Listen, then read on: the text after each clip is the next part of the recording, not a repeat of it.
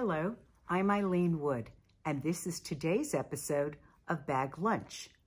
We're continuing on with the theme that I am calling new acquisitions. We have been stuck at home during the pandemic, and I have used some of that time to scroll the internet to locate some interesting new bags to add to my collection. So this is another group of new additions that have shown up since the beginning of the pandemic.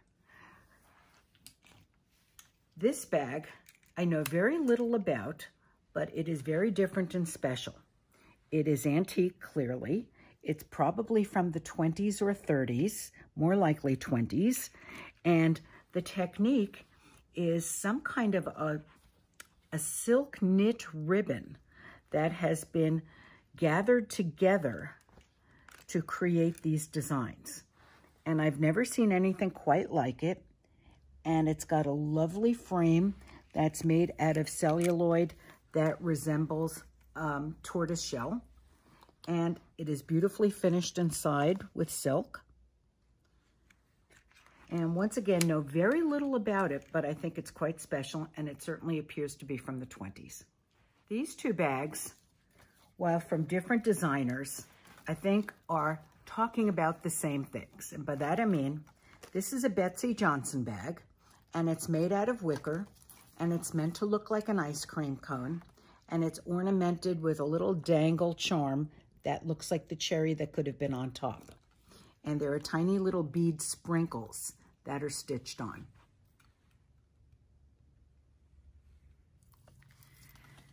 So this is an American bag.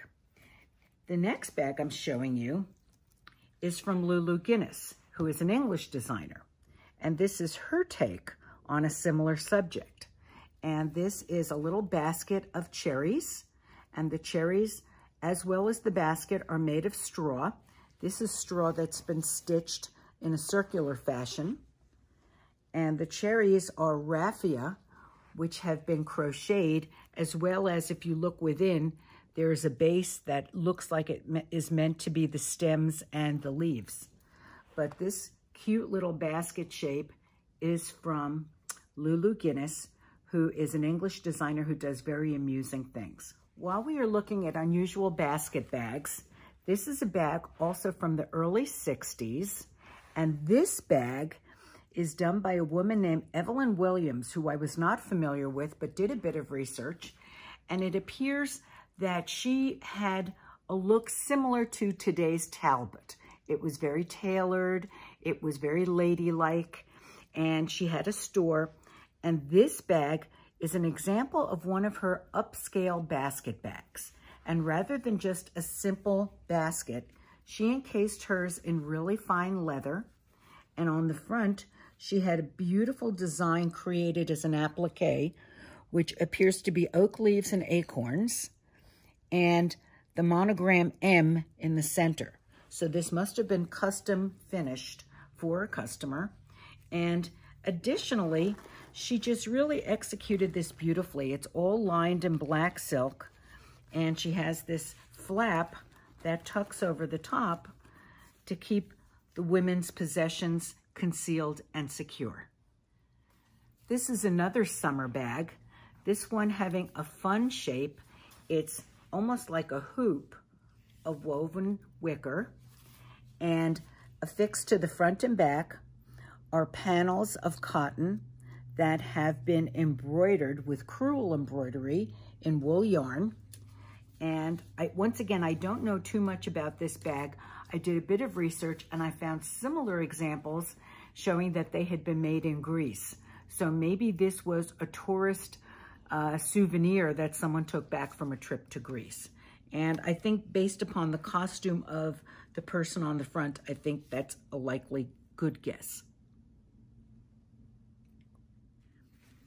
Here is another dark but summery bag. And this one too has crewel embroidery on it.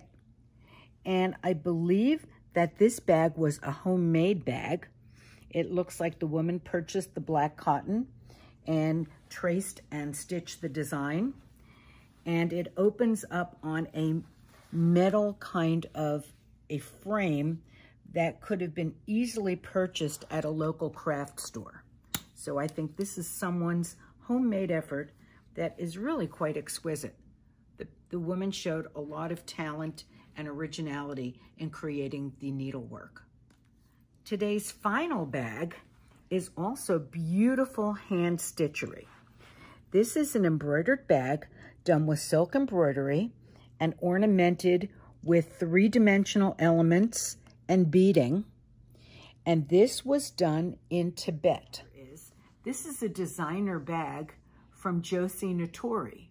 And you may be familiar with her work. She does gorgeous lingerie and underwear, and she sells her things to the finest stores.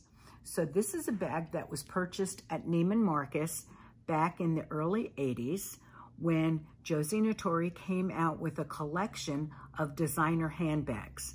And the handbags were based upon antique fabrics and articles from her personal collection. And this being one of them, I'm sure she had an embroidered tapestry that came from Tibet and she channeled the look or actually used Tibetan fabric to create this bag. So thank you for joining us for today's bag lunch. Please tune again, tune in again next time.